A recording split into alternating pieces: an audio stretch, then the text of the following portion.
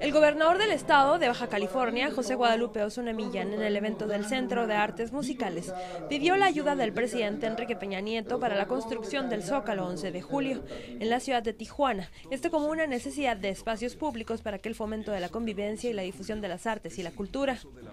Quiero pedirle, señor presidente, que nos ayude a concretar la Plaza 11 de julio. Este, este proyecto este proyecto, señor presidente, que ha concebido los, los tijuanenses como el punto de encuentro de las familias tijuanenses,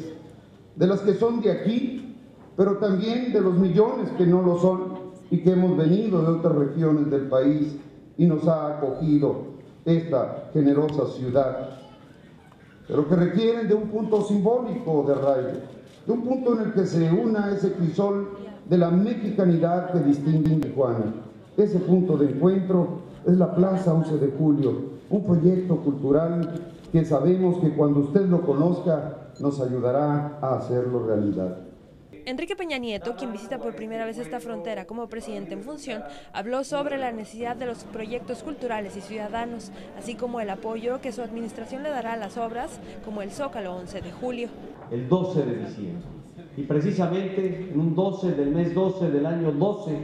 en este primer espacio o en este primer evento cultural que hoy llevamos a cabo aquí en Tijuana,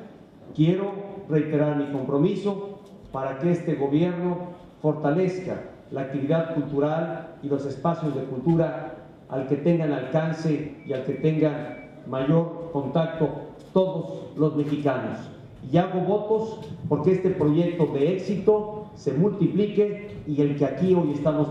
presenciando siga teniendo mayores éxitos,